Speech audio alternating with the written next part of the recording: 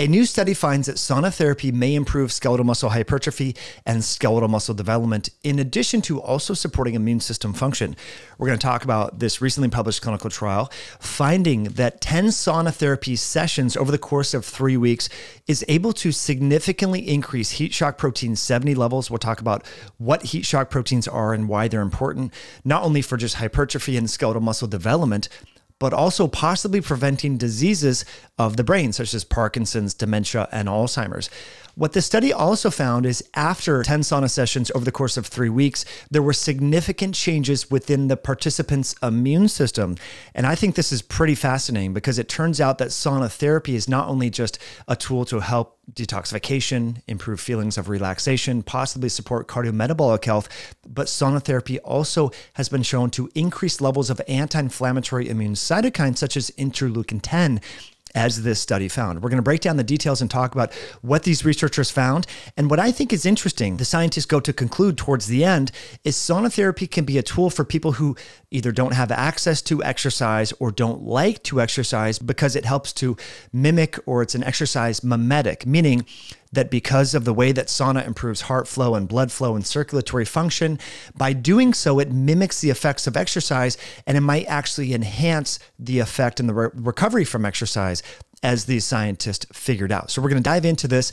The title of the paper is The Effect of a Single and Series of Finnish Sauna Sessions on the Immune Response and Heat Shock Protein 70 Levels in Trained and Untrained Men.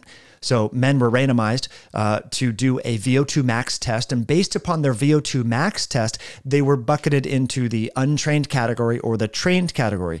The thresholds to differentiate or bifurcate training status was having a VO2 max over 50. So majority of the men in the group that were trained had a VO2 max over over 55. That was the median VO2 max. Now, the folks that and these are young men in their 20s by the way just for context, I'm 41. My VO2 max is 54. I just tested it last week. So these are very fit people. The untrained group, their VO2 max was 40. So they don't regularly exercise habitually for whatever reason. And the scientists wanted to figure out what the differences in immunologic responses, cardiovascular responses, body temperature, as well as heat shock protein responses. Is there any difference in athletes versus untrained athletes? And it turns out there is, and that's why we're going to dive into this paper because it's quite fascinating. The scientists say our hypothesis assumed that after the first sauna treatment, there would be an increase in the total number of white blood cells. They looked at lymphocytes, neutrophils, all sorts of natural killer cells, a myriad of different immune cells, because previous studies have found that sauna or heat therapy improves phagocytic capacity of a bunch of different immune cells, including natural killer cells, which are important for the upcoming cold and flu season, but also it, it preferentially changed the cytokine response to pivot the immune system into a more anti inflammatory state, which we're going to get into. It's very fascinating. They go on to say in the trained subjects, we expected that the number of neutrophils, basophils, and lymphocytes would increase more than in the untrained men. In untrained subjects, we expected greater changes in HSP 70, that is heat shock protein 70 concentration after sauna treatments, as a response to heat stress. We assumed that in untrained people, the sauna can be a kind of substitute for physical training, and its effect would be similar to the effect of physical exertion. Hence, we expect a strong reaction after the first bath and various adaptation processes after the 10th bath. For trained individuals, the thermal stimulus may have a lesser effect on white blood cells, as these individuals' organisms are to some extent adapted to similar extrinsic stressors because exercise induces body heat. And so, this is in fact what the scientist hypothesized, and this is pretty much what they found. Now, let's quickly review the study protocol illustrated here in figure one. So, the sauna sessions were three 15 minute sessions, and between those 15 minute sauna sessions, there was a two minute gap. Now, they did all 10 of these three 15 minute sessions over the course of three weeks, which is pretty intense. So, this was a short duration study that is relatively robust to ascertain the physiologic response to the heat stimulus. I don't generally suggest people do this intensive a sauna therapy if they've never done this uh, right away. But it's interesting to see how the body responds to such a heat stress over a short period of time, a three week period of time, which would be sufficient to induce the adaptations.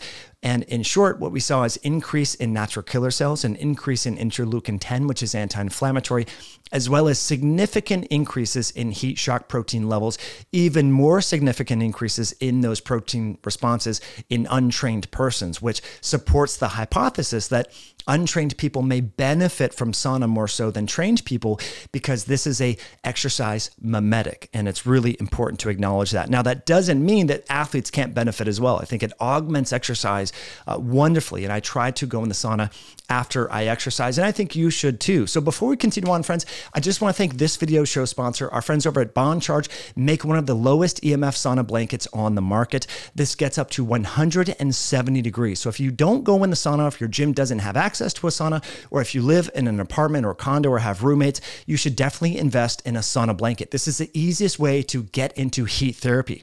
Again, this blanket is very small, form factor. You don't need a big space for this. It unrolls and it gets really hot really quick. Just 12 minutes is really all I can take. I get super hot in this. I use this all the time, especially after I cold plunge and I don't have time to start up my sauna. It's a wonderful tool that you can do in the convenience of your home and you can travel with the sauna blanket as well. So you can save by going to boncharge.com forward slash HIH on the lowest EMF, hottest sauna blanket on the market. BonCharge also makes an array of health promoting tools, including their amazing sleep mask they also make blue light filtering glasses and a bunch of other great tools. So definitely check them out over at boncharge.com. So let's talk more about this study. The details are incredibly fascinating. I know you're like me, you like these uh, details and the nuances of the science. So let's dive into it. Now, remember, they did 10 sauna sessions.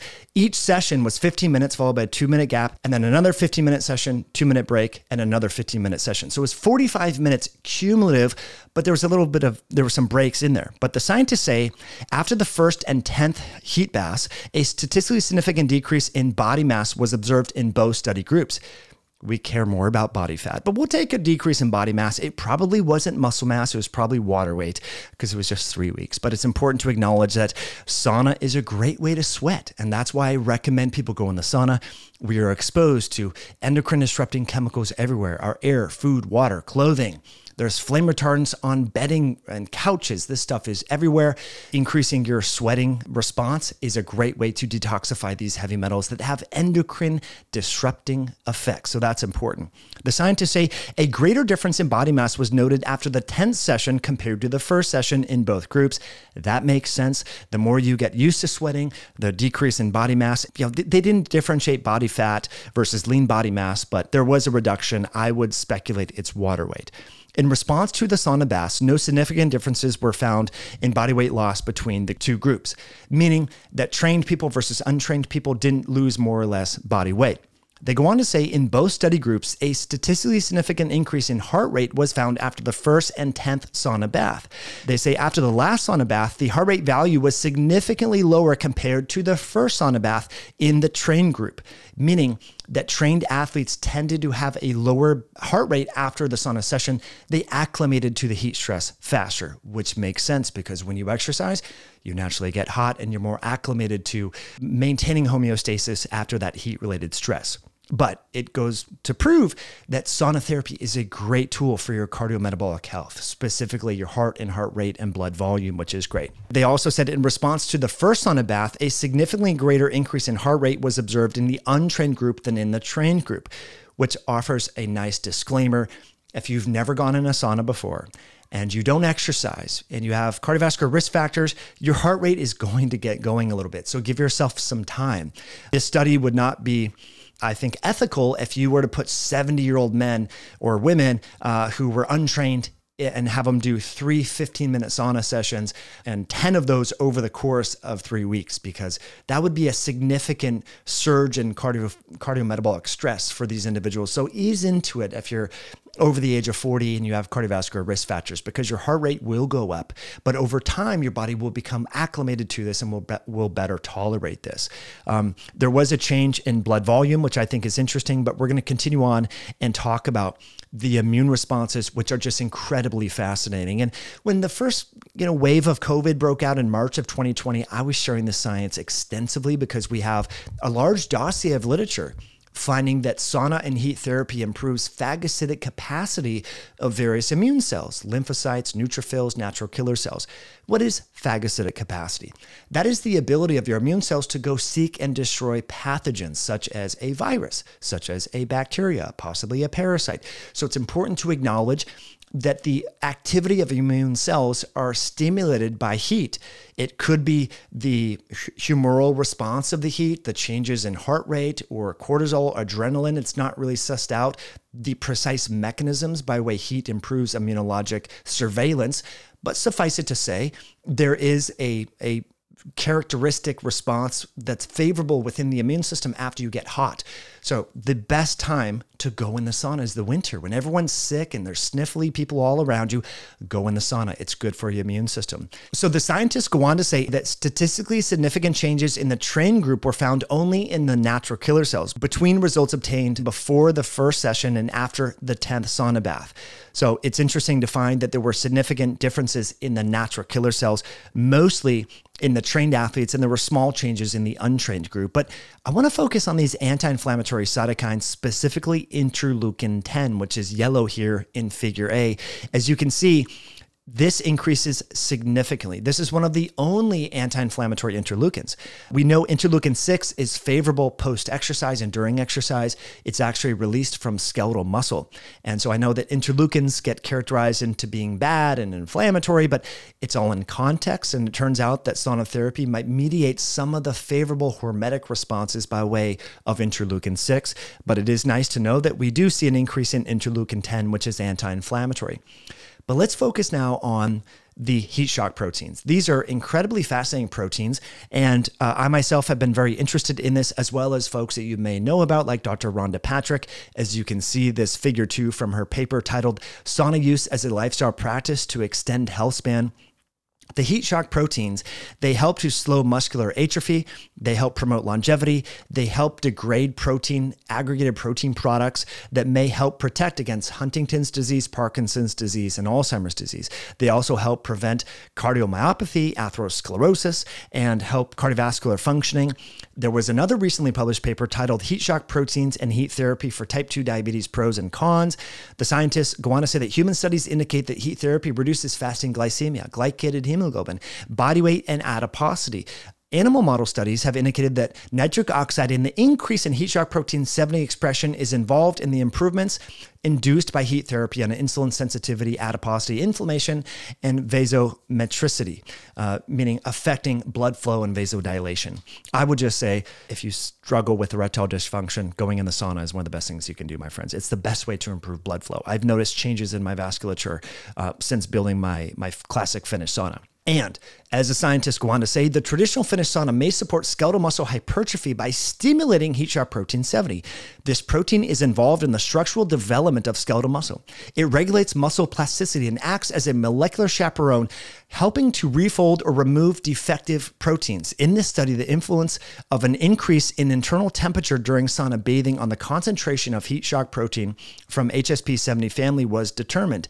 After bathing in the sauna, a statistically significant increase in the level of heat shock protein 70 was obtained in both studied groups, with an increase in the trained group to 1.47 and in the untrained group to 1.61, which is quite fasting. I believe this was, well, they go on to say right here.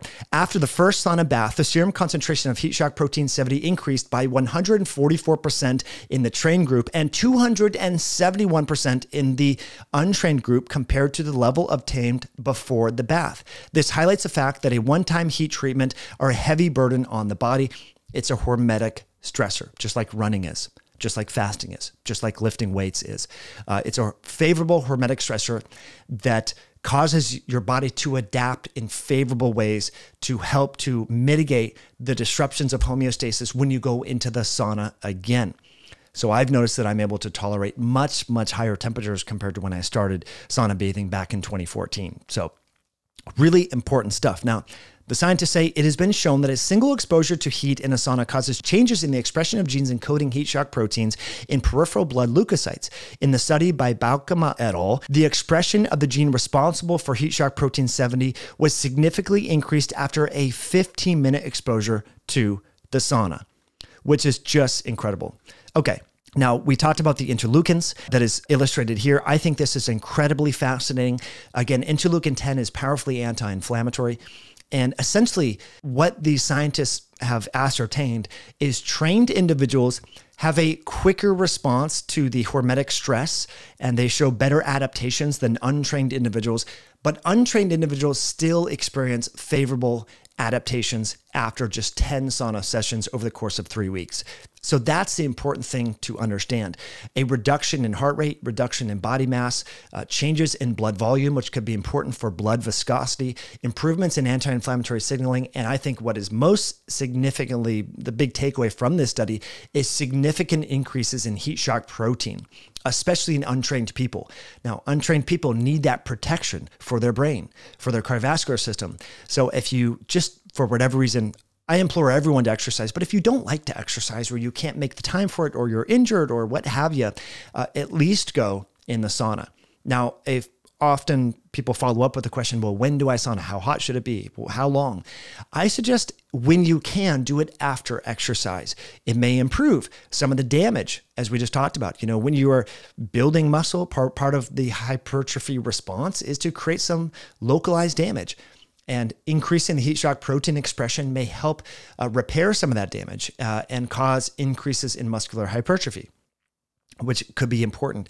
And you do see the similar shifts that you see in exercise with interleukin 6 elevations. We see that with sauna, which I think is quite fascinating. So I suggest, you know, depending upon your accessibility, at least 15 or 20 minutes after you exercise. And if you can take a break, do a cold shower, do a cold plunge, do a cold swim, and do another 15 minutes, I think that is phenomenal. If you can do that three days a week on a minimum, you are going to do yourself a lot of favors from a cardiometabolic health standpoint, from relaxation, improving blood flow, erectile function, stress reduction. The list goes on and on, my friends. There's a lot of benefits here. So let's get after it. I want to thank these scientists for putting out great research and helping us to better understand the mechanisms as to how sauna therapy and heat therapy can improve human physiology.